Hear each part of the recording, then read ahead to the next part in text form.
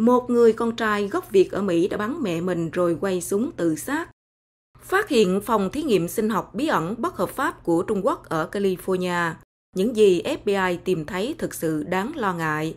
Một người đàn ông ở Mỹ là một nhà nông đã trồng cả một cánh đồng có tổng cộng khoảng 1.2 triệu hoa hướng dương để tặng vợ nhân dịp kỷ niệm ngày cưới. Thi thể của một người đàn ông được tìm thấy trong thùng phi ở bãi biển Malibu. Cảnh sát Los Angeles đã thông báo cho biết công ty vận tải Yellow Corp đóng cửa chuẩn bị khai phá sản và sẽ sa thải tất cả 30.000 nhân viên. Cư dân West Virginia khỏi đóng thuế khi mua sắm dụng cụ học tập, chuẩn bị cho mùa tự trường cuối tuần này. Tàn trữ vũ khí và sản xuất ma túy, một người đàn ông gốc Việt ở Minnesota của Mỹ lãnh 77 tháng tù. Đó là những thông tin mà mình muốn chia sẻ trong video ngày hôm nay, thứ ba ngày 1 tháng 8 năm 2023. Một người con trai gốc Việt đã bắn mẹ mình vào hôm thứ Năm ngày 27 tháng 7 năm 2023 bên trong một căn hộ ở Fort Church và sau đó cảnh sát cho biết người con trai này đã quay súng tự sát. Cảnh sát cho biết vụ việc xảy ra tại Woodland Tower Condominiums ở khu phố 6.000 trên đại lộ Arlington. Cảnh sát quận Fairfax đã nói với đài Fox 5 rằng người mẹ đã gọi cho 911 vào khoảng 4 giờ 30 phút chiều thứ Năm, ngày 27 tháng 7, và nói rằng bà đã bị bắn vào tay, cơ thể và chân. Cả bà và người con trai 30 tuổi của bà đã được chuyển đến bệnh viện với những vết thương nguy hiểm đến tính mạng. Fox 5 kể từ đó đã cho biết người phụ nữ đã được nâng cấp lên tình trạng không nguy hiểm đến tính mạng và dự kiến sẽ sống sót. Cảnh sát đã thu hồi một khẩu súng ngắn cỡ nòng 0.22 tại hiện trường và vẫn đang cố gắng tìm ra nguyên nhân dẫn đến vụ nổ súng. Họ đã xác nhận không có mối đe dọa rõ ràng nào đối với cộng đồng. Thông tin tiếp theo, một công ty liên kết với Trung Quốc đã bị phát hiện điều hành một phòng thí nghiệm sinh học bí ẩn không có giấy phép ở California, nơi chứa ít nhất 20 bệnh truyền nhiễm có khả năng lây nhiễm, bao gồm coronavirus, HIV, viêm gan và mụn rợp. Nhà kho được phát hiện bởi các đặc vụ địa phương và liên bang ở quận Fresno. Phòng thí nghiệm bất hợp pháp và không có giấy phép chứa đầy chuột thí nghiệm chất thải y tế và các vật liệu nguy hiểm.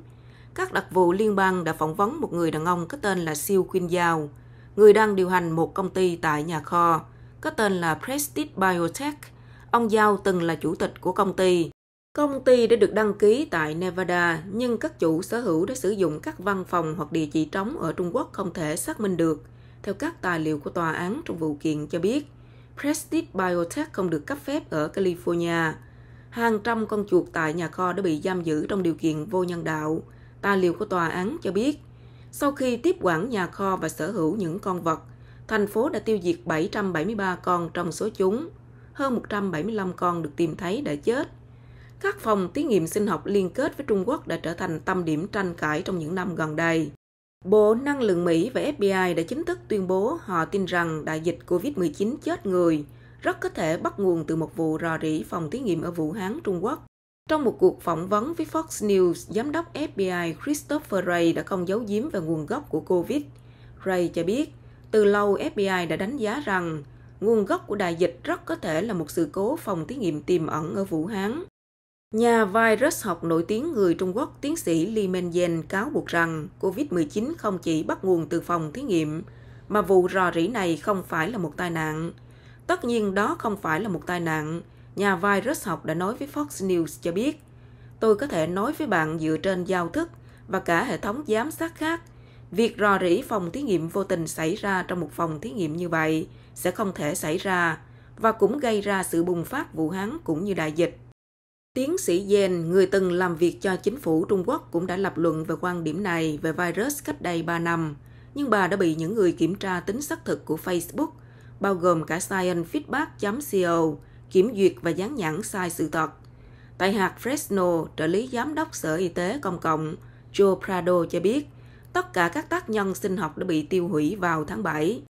Prado cho biết việc đánh giá cần có sự phối hợp và hợp tác với nhiều cơ quan liên bang và tiểu bang để xác định và phân loại các thành phần sinh học và hóa học tại chỗ. Một số phòng của nhà kho đã được tìm thấy có chứa một số bình chứa chất lỏng và nhiều thiết bị khác nhau. Tài liệu của tòa án cho biết, Trung tâm Kiểm soát và Phòng ngừa Dịch bệnh đã thử nghiệm các chất này và phát hiện ít nhất 20 tác nhân có khả năng lây nhiễm. Ông Giao và Prestige Biotech đã bị cáo buộc phạm nhiều tội bao gồm xử lý bất hợp pháp các vật liệu nguy hiểm, không tuân thủ các lệnh giảm thiểu sinh học. Các nhà chức trách xác nhận rằng Prestige Biotech không cung cấp thông tin. Các nhóm dường như đã sẵn sàng và có mục đích tham gia vào hoạt động tội phạm nguy hiểm. Các nhà chức trách vẫn đang làm việc để dọn sạch nhà kho và cuộc điều tra đang được tiến hành. Thông tin tiếp theo một người đàn ông ở Mỹ có tên là Lee Wilson sẽ tặng hoa cho vợ nhân dịp kỷ niệm ngày cưới của hai người. Nhưng không chỉ là một bó hoa mà là cả một cánh đồng hoa. Vào ngày 10 tháng 8 tới đây sẽ là dịp kỷ niệm 50 năm ngày cưới của cặp vợ chồng ông Lee Wilson và bà Renee Wilson. Ở Pratt, tiểu bang Kansas của Mỹ, ông Wilson quyết định làm một điều thật đặc biệt cho vợ của mình vì bà rất yêu thích hoa hướng dương. Ông Wilson là một nhà nông, Năm nay, ông cùng con trai đã bí mật gieo xuống 80 mẫu đất, những hạt hoa hướng dương vào hồi tháng 5. Nay thì mỗi mẫu đất đã nở ra 15.000 đóa hoa hướng dương. Tổng cộng có khoảng 1.2 triệu hoa hướng dương trên cánh đồng, một màu vàng trải ra ngút mắt. Nói với đài KAKE ABC, bà Wilson đã trầm trồ rằng tôi cảm thấy mình được cưng chiều quá đi. Không thể nào có một món quà kỷ niệm ngày cưới nào hoàn hảo hơn là một cánh đồng hoa hướng dương. Hai ông bà Wilson yêu nhau từ thuở đầu gặp gỡ. Ông Wilson kể lại rằng, khi mới gặp nhau ở trung học thì bà chưa đủ 16 tuổi để hẹn hò, và ông chờ đúng dịp sinh nhật thứ 16 để mời bà đi chơi một bữa tiệc trượt ba tè. Cánh đồng hoa hướng dương vàng rực rỡ thu hút du khách từ khắp tiểu bang Kansas đã tới chụp hình và dạo chơi. Hoa hướng dương màu tàn nên chỉ còn đẹp tối đa chừng 2 tuần nữa thôi. Từ phía nam xa lộ Highway 54, người qua đường có thể thấy cánh đồng trải rộng 4 dặm hướng đông của thị trấn Pratt. Thông tin tiếp theo, một thi thể trong thùng phi 55 gallon được tìm thấy ở bãi biển Malibu vào hôm thứ Hai ngày 31 tháng 7 năm 2023. Sở Cảnh sát quận Los Angeles cho biết, cảnh sát đã được gọi tới dãy số 23.200, xa lộ Duyên Hải Pacific Coast Highway, khoảng 10 giờ 30 phút sáng. Cảnh sát cho biết giới tính của người chết trong thùng phi là nam và tình nghi bị giết, nhưng chưa có chi tiết về danh tính. Trong buổi họp báo vào chiều thứ Hai, cảnh sát từ LASD cho thêm chi tiết là thi thể này là người da đen và không mặc quần áo. Tuy bàn chân vẫn còn nguyên và chưa rõ xác người này đã ở trong thùng bao lâu. Thùng này có dán nhãn hóa chất dùng trong kỹ thuật ấn loát. Cảnh sát đang tiếp tục điều tra sự việc này. Theo đài ABC7 cho biết, các nhân viên vệ sinh đã tìm thấy thùng phi trôi lên bền gần bãi biển Malibu Lagoon State Beach vào tối Chủ nhật. Họ đã treo xuồng ra đưa nó vào gần bờ. Đến sáng thứ hai thì chiếc thùng này đã dạt trở ra khơi. Một nhân viên cứu hộ mới bơi ra và kéo nó vào thì thấy nặng. Nhân viên cứu hộ mở ra xem thì phát giác có thi thể ở bên trong thùng.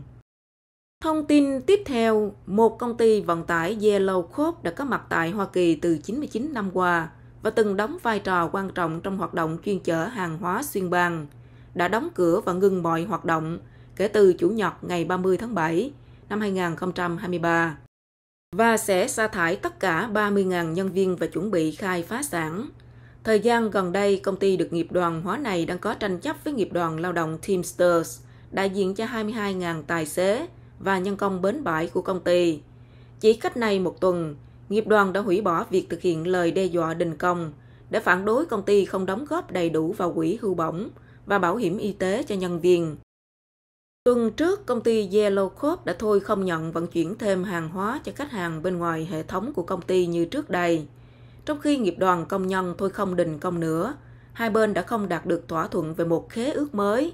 Đó là theo một bản thông báo được gửi ra cho các nghiệp đoàn địa phương vào hôm thứ Năm. Nghiệp đoàn Teamsters cho biết họ đã được Yellow Corp thông báo về việc công ty sẽ ngừng hoạt động. Sự kiện Yellow Corp đóng cửa là tin bất lợi cho nhân viên làm việc và hàng trăm ngàn khách hàng của họ, bởi vì công ty này có mức giá biểu vận chuyển thuộc loại rẻ nhất trong ngành chuyên chở hàng hóa trên bộ, với nhiều tuyến vận chuyển hàng hóa trên toàn liên bang Hoa Kỳ. Được biết, các công ty Yellow, Roadway và CF, tức là Consolidated Freightways, từng được mệnh danh là Big Three, tức là ba công ty vận chuyển hàng hóa cột trụ, được rất nhiều khách hàng cũng như các cơ sở thương mại tại Hoa Kỳ ưa chuộng. Thông tin tiếp theo, Thống đốc Jim Justice đã ra thông báo vào hôm thứ Hai ngày 31 tháng 7 năm 2023 là dịp lễ miễn thuế thương vụ khi mua sắm dụng cụ học tập, chuẩn bị cho mùa tựu trường, sẽ diễn ra từ thứ Sáu cho đến thứ Hai ngày 7 tháng 8 năm 2023, kết thúc vào lúc 11 giờ 59 phút đêm. Trong 4 ngày đặc biệt cuối tuần này, phụ huynh có thể đưa các con em học sinh của mình đi mua văn phòng phẩm, sách giáo khoa, máy tính sách tay và dụng cụ thể thao. Nhiều món trong số này sẽ được miễn thuế sales tax trên toàn tiểu bang West Virginia, văn phòng thống đốc cho biết. Trung bình mỗi khách hàng sẽ tiết kiệm được ít nhất 6% của trị giá món hàng vì không phải trả thuế khi mua. Ở vài địa phương với mức thuế 7% thì còn tiết kiệm thêm nữa. Các món tiêu biểu được miễn thuế thương vụ gồm có quần áo dưới 125 đô la, dụng cụ học tập dưới 50 đô la, sách vở học tập dưới 20 đô la, máy vi tính sách tay dưới 500 đô la, dụng cụ thể thao dưới 150 đô la. Phần miễn thuế đương nhiên chỉ áp dụng cho người sử dụng trực tiếp, không phải để mua đi bán lại.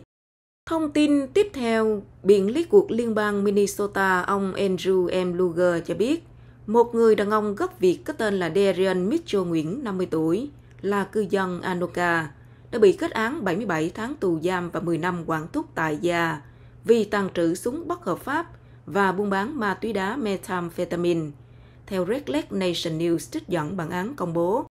Vào ngày 30 tháng 7 năm 2023, hồ sơ tòa án cho thấy vào mùa xuân năm 2022, FBI bắt đầu điều tra ông Darian Nguyễn sau khi được mật báo đương sự sở hữu thiết bị nổ súng và methamphetamine. Ngoài ra, ông ta còn muốn gia nhập một tổ chức chống chính phủ liên bang. Nguồn tin công lực đã tiết lộ đương sự còn tàn trữ nhiều loại vũ khí, bao gồm súng máy, súng trường, súng ngắn, bom ống trong phòng bí mật, được xây dựng trong các bức tường tại nơi ông ta ở. Ngoài ra, ông ta còn sản xuất và buôn bán methamphetamine.